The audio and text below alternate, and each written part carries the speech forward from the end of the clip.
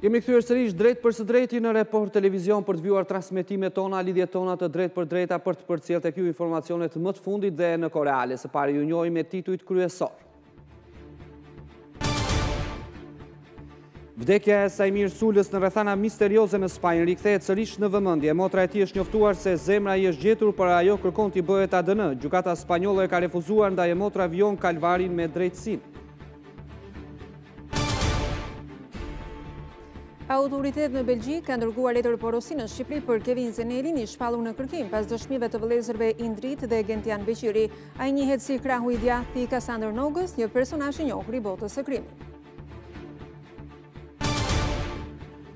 Ultimatumi që pedagogët i vendosën qeverisë për rritje pagash deri të mërkurën ose grevë urie nuk u prit mirë nga kryeministri Edi Rama. Duke iu referuar Sandër Kovaçit, ai tha se SHIK-si i non gratës ka marrë urdhër për grevë.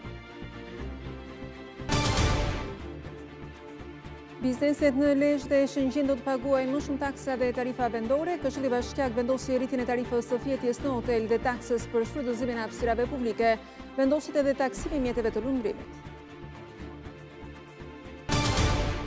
Kryetari i Mitrovicës së Veriut nuk e përjashton mundësinë për vendosjen e barikadave në veri të Kosovës pas vendimit për regjistrimin e tyre në RKS. Nga ana tjetër me urdhër të Aleksandër Vuçiç, ushtria serbe është në gatishmëri.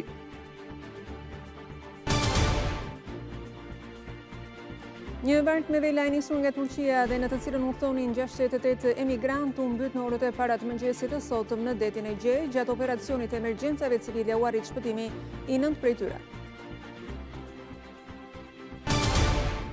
Roma përmbysi Veronën duke fituar 3 me 1 dhe ngjitet në vendin e katërt në klasifikim në Serie A italiane. Të dielën pritet një sfidë e zjarrtë në derbin ndaj Lazios, ndërsa Bologna mundi 2 me 1 Monzën në sfidën e fundit të javës së 12 të kampionatit italian të futbollit.